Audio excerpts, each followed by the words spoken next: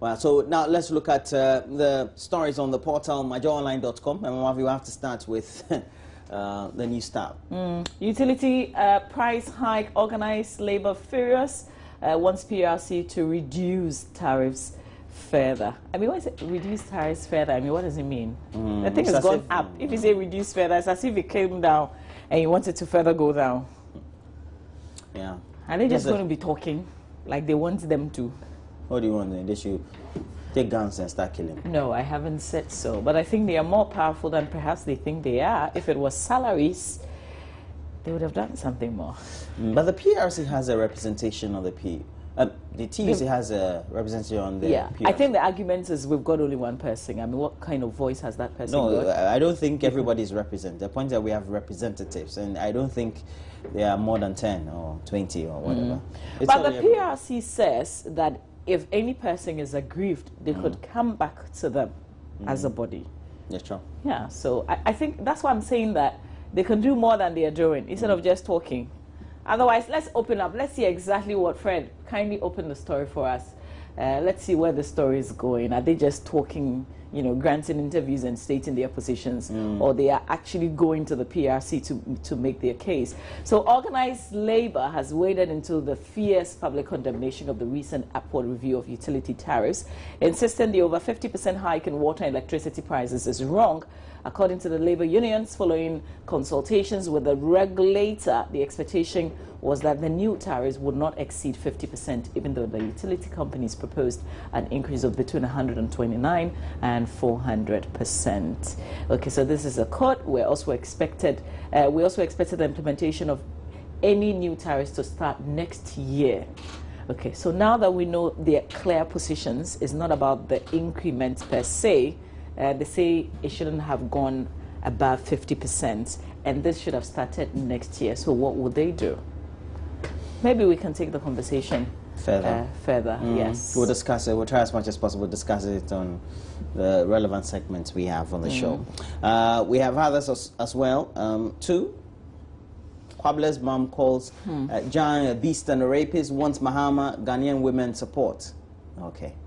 This is turning out to be maybe a movie, if you like. I'm not sure where this is going, but let's see how it, it ends. And then the next, uh, ev- evasive martyrdom and struggles of Muhammad's empty corruption instructions. And then we have the next story. UCL preview, that's wrong. It should have been changed by now by the managers of the website, myjoyonline.com. But don't worry, we'll get that word. Whatever, Chelsea to people. whatever, whatever, whatever. And then we have Okay. more That's why you're talking Muhammad about mentoring from Buhari GI. Yeah. according to GI, and then unhealthy lifestyles of men are written into their sperm study Hmm? finds. As for you know, Please open I've noticed that the various research agencies in the West have researched everything, so now they are researching. Yesterday, I was reading something in the Guardian. Was it in the Guardian? Yeah, or is it a Telegraph? That Or the that- Daily Mail. That says that the hands, handsome men don't get uh, career progression because uh, they are considered to be uh, threats at the job side. Uh, makes Is that real? It, it's not real to me. I, I, think mean, that when I- you work hard and uh, you, you're good looking, If you- it helps you. really, I should think so. I don't think so. I think if you if if it was the other way, then maybe I'll be thinking about it. But men handsome because your boss is a woman or what? No. We're talking about the research was about just good looking men Uh-huh. from their peers, not necessarily from women. Women bosses, from their peers, they are seen to be threats. Because, I mean, when you know, mo- eh, muni madia, you, you're, you're intelligent, you have the Okay. same you're, you the same intelligence quotient, the same IQ levels, but one is nice and one is not. But it depends on the Unless it's Let's say- customer service. No, but, but unless you're doing job, sales or something. Every job now that you have to do customer. Service. I mean, unless you're going Even engineers now are into customer service. Because if you are going out often to look for c- clients, then your boss will certainly push you, and you know. Mm. But the point is that But even even if you're an engineer, you do presentations, and and sometimes presentation is presentation. You're going to do presentation, let's say to a multinational somewhere. You're an engineer. You don't come out. You don't get to see people. You're somewhere in the back room, somewhere behind a machine. Uh, uh, according to the research, if you're handsome, you don't tend to get a lot more progression because uh, your your your boss or your your your rival seem to think that you could have a head start, so they tend to push you down. That's what the research said. I'm beginning to think that the research, you know, was conducted with people who have been disappointed somehow. Yeah, Do you think so. fancy nice-looking no, guys? uh, no, You're fine, by the way. I am. Yeah. Well, But, do you see like a fine guy? When you see a fine guy, do you notice the person no, is fine? No, not at all. For me, I think it's irrelevant. Uh, for a woman, yes, how you look is it's important, but your intelligence is is Yeah. is the most important. I agree. It's I agree. the most important thing. But for a woman, if you're beautiful and you're also very intelligent, it's a plus. Let's read this. Scientists at the University of Copenhagen. Now we know Copenhagen is in uh, Denmark. good at the sperm uh, of obese and thin men and noticed uh, significant. Oh, scientists at the University of Copenhagen at the sperm. Doesn't make sense. I Okay, think- maybe we shouldn't do it this after all. Mm, Wait, no, I think we should try. Uh, scientists at the University of Copenhagen, um, they looked at the sperm of obese and thin men and noticed significant differences in parts of the gene associated with appetite. Okay. Pregnant women and those hoping to conceive have long been warned to keep drinking and smoking and keep their weight down if they want to give birth to a healthy baby. And but now a new study suggests that the unhealthy lifestyles of men are written into their sperm and could be passed on to their children. And so it means mm. that if you drink a lot, you you're, you're, you engage in all sort of unhealthy lifestyles. It could also have some influence on the sperm that you tend to pass into the woman. Mm. So when the sperm comes out and it, there's the mating, you know, Why are you doing this? Why are you, why are you I'm keeping try- it there? I know. What are you demonstrating? Okay, so enough of this research. If you're interested, kindly log on. Uh, and I, I said that you don't find this subject very nice. You have two. No, but I, I, okay, yeah, cool. yeah, yeah, yeah. Let me know. Five. Fred, five. Okay, so we're moving on. We're moving on. Fred. Uh, Oh, Fred. okay, let's move on further. I think we've done this one. All right, so Africa joins global sit-in action in demand for fair and ambitious Paris climate outcome. Really, that will be it for the stories that we're looking at here at myjoyonline.com. Let's quickly do Citi FM online, and the bus will certainly stop with the BBC, the Africa page. That's where our interest will be. So, 125 MPs risk losing seats for absenteeism. Kindly click it for us so hmm. that we Can't can happen. check this. It won't happen. I don't know why we do these stories. As media, we shouldn't even bother our minds. So, some 125 members of parliament risk uh, losing their seats for repeatedly absenting themselves beyond the limits. Kindly move the limits that the constitution allows. Uh, Odekro, an advocacy platform that seeks to promote transparency, accountability, and democratic governance through citizen action and en- engagement with relevant government agencies, has written to the Speaker of Parliament demanding that 125 seats be declared vacant because the occupants vacated their posts. Please All go right? up, and these are and these are the let's mention. This is a report. It's not us. Go up, Fred, please. Okay, some of the names include MP for Dome Kwabenya, Adra Safo, Papa Wusu Ankoma, Second D, North Tong and Deputy Education Minister Samuel Okudzeto Ablakwa, MP for Bekwai Joseph Osewu. Oh, really? Uh, Inusa Fuseni, Tamale Central, and uh, we have um, Ewutu Senya MP Hanatete, Ibwakwa Sao, Samuel Atachia, and Mark Wayongo. Uh, Really? Navrongo Central and Interior Minister. Okay, so we've got two MPs coming out, coming on our show today. We're just trying to check out if their names No, also none- feature here. So far. So far. That's we are going to have Osebo Nsoamwa. Uh, but this will be interesting. Honestly, We'll, we'll, ask see. him. We'll ask him whether. I think I think he'll poo-poo this report. I'm telling you. he'll rubbish the report. Okay, so we'll look at uh, other stories quickly. NPP to decide fate of a Japan crab today. Uh, already, there's this 15 month suspension uh, that would be either It's being affirmed, speculated. confirmed today, or we'll It's see how it goes. I think it won't happen. And we've heard that uh, as for Sammy Crabbe, his is going to be Indefinite. indefinite. Yeah. crap. What's so we'll see what happens. What's why is in? We'll see what happens. All eyes on the NPP definitely today. Uh, and Korle Bu staff demand CEO's resignation. Hmm. Korle Bu Teaching Hospital, who do you want to work with now? Everybody they bring, you've got issues with. So what should we do? Should we get the people in there uh, to, you know, run the hospital. Looks like we're bringing people from outside, and they seem to have issues with them. And now a vote of no confidence. As we need to privatize it. Yeah, that's true. Or we, we give the management to a private entity to manage. They can better do a good job. But you know, our Because they, concentration has the workers always been on management. civil servants, civil servants. The, the concentration has been on management. What if? The workers still have problems. Exactly. Yeah.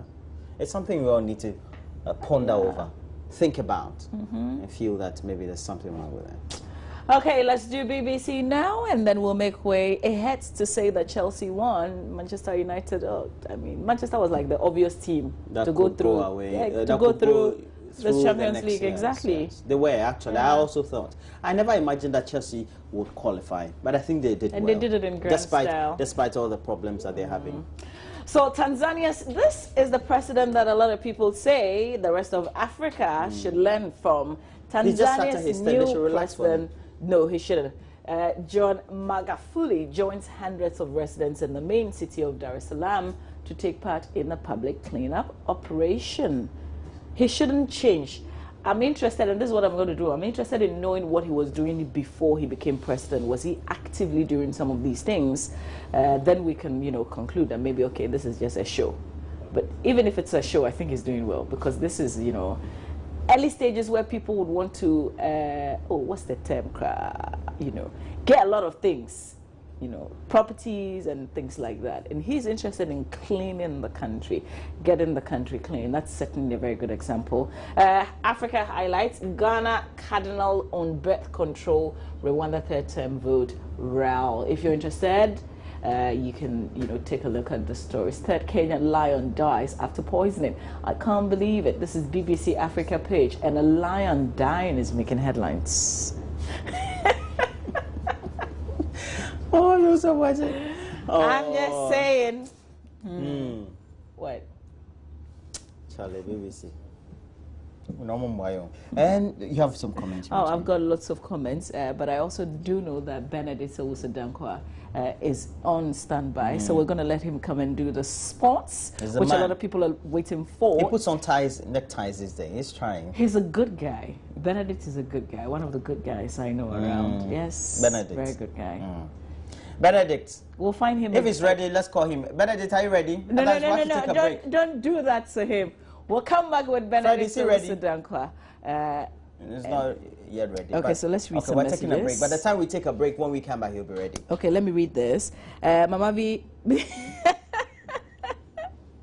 so this one says, You call Jan and the Cobbler uh, uh, issue a movie. Well, a new series on telly uh, after the Justice D show. Greetings to you and your crew is from Danny in Akosombo. Danny, definitely you've been following Wahala Ghana. Uh, who on, uh, on this earth can save the poor Ghanaians? I think only God Himself can come down and help us solve the Dumsor problem, the depreciation of the cedi, the tariff hike, and now being ranked second most corrupt country in Africa. Uh, Bambakia uh, Samed, your message is quite long. Uh, He's giving us this message from from Bessie. okay, yeah, from Bese. Uh, so Samuel Bambakia, thank you very much for your message, even though I couldn't read everything because I have to read. Uh, okay, this one says, "Good morning, Roland." Uh, hey, Oh, Charlie, you sent the message like, hey, won't read.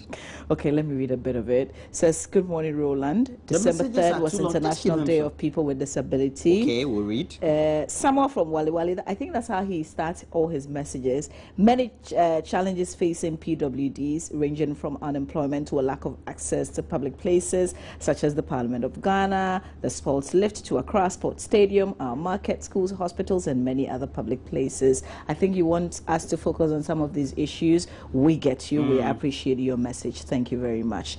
Uh, this one says, Good morning, Roland and Mama V. Our friends in the NPP are doing very Everything. everything possible to make this government look bad. That's your opinion. You're certainly entitled to it. Clement from Bongo says, ha ha ha. Are you questioning Roland like that about the sperm explanation? I didn't. I, I don't know. Was he demonstrating? That's all I was saying. I know what were you doing with all the, you know. Oh. Okay, just saying.